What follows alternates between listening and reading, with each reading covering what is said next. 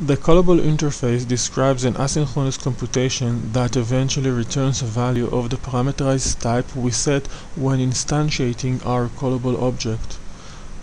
In this code sample, we declare the class myComputation as a class that implements the callable interface. The parameterized type we set is double. The return value of the asynchronous computation an object of this class represent is of type double. The future task parameterized wrapper class implements future and runnable. A future task object should hold a reference for a callable object.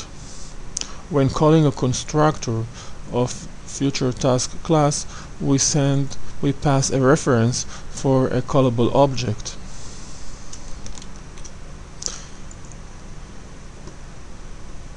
The future task object is a runnable object because future task class implements runnable which means that we can instantiate it a thread and pass a reference for the future task object as the runnable object for that thread which means that when calling the start method on our thread object we indirectly start running the run method on our future task object which indirectly starts the calculation represented by our callable object in this case an object that was instantiated from my computation class.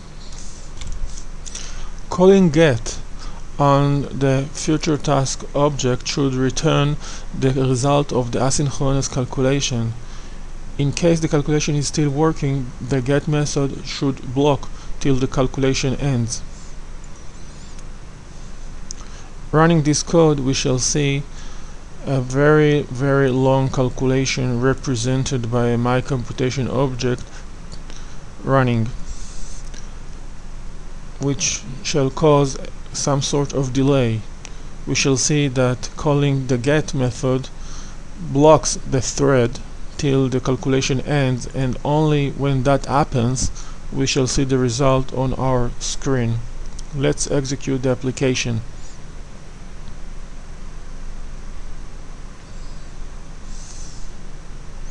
We can see the message calling task.get and the thread that tries to call that specific method we can see that thread being in a block state waiting for the result. Eventually the calculation ends and the get method returns the result of that calculation which is printed to the screen